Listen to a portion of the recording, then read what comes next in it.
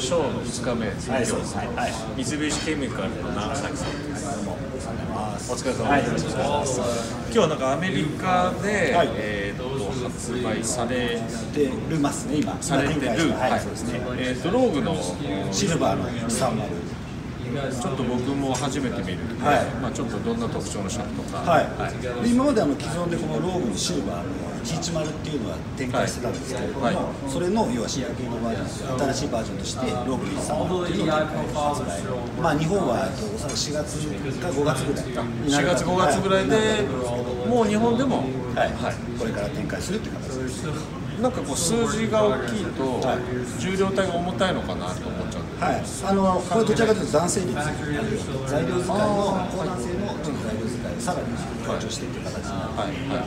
はい、じゃあ割とこっちの方がしっかりしたそうですね、はい、なので左ちょっと怖がらずにしっかり。振れるようにで、まあ、これ今 70TX ですね、はい。ラインナップもそういう形でしっかり。振れるような感じでただ単に硬いだけじゃなくて、はい。ファニングとかもちょっと非常にいい感じのモデルになりますねなんかすごいコスコスメがやっぱかっこいいですね。だって独特ってい。うかね、じゃあこれまた楽しみなそうですね。シャフトですね。そうですね、これから発表してはい。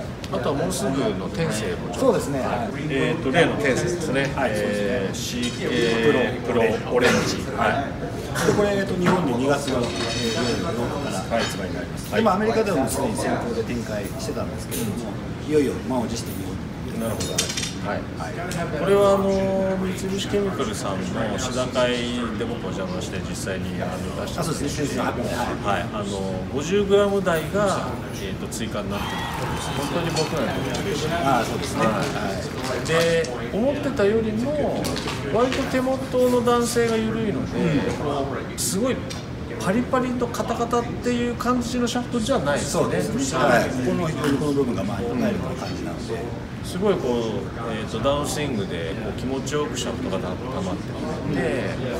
で、まあ、中間と,、えー、と線うん先は、まあ、そんなに動かない。そうですね、全体的にちょっとしっかりしてるような感じですね。はい。はいなんであのボールが散らかるとあかのワンピースどっちかというとボディースイングじゃないですけど、ね。はい。はい。という方でも非常に振りやすいタイプのシャフトになるそうですね。はあんまりこう手首どうのとか、そういうタイプではなくて本当にこうスイングで、あのしっかり、はい、あの打っていけるような方にはぴったり。い、そうですね、はでもね、これもね、やっぱりこう、コスメがこういかなくて、えーそうこのあのスクリプトの、はいこのねそう、はい選び方といい、なんともこう、そうですねんかっこいいですね。はいい、なんで、まあ、フレックスのバリエーションも重量の展開も増えているので、はい。あのそのフレックスの選定だけ間違えなければ、あのせんね、プロが使ってるからすごいゴリゴリなんでしょそうですっていうね。そんな感じでも、ね荒さ振っていただいてそんな感じじゃなかったと思うので、でこれは普通の、C、